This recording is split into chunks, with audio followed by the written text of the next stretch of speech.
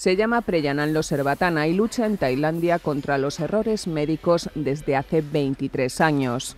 Fue entonces cuando una serie de negligencias dejó a su bebé con problemas de movilidad de por vida. Se querelló contra el hospital y contra el Consejo Médico tailandés, pero el Tribunal Supremo falló en su contra sin dinero y sin esperanza, consiguió apoyo económico gracias a la repercusión mediática de su caso y fundó en 2002 la Red Tailandesa contra los Errores Médicos, que apoya moralmente y asesora a los afectados por negligencias médicas.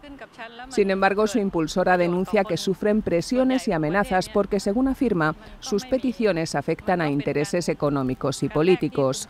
En 2007, una de sus miembros fue tiroteada. La red pide que se apruebe una ley que amplíe a todos los tailandeses el actual sistema de compensación que ahora solo cubre a un 75% de la población.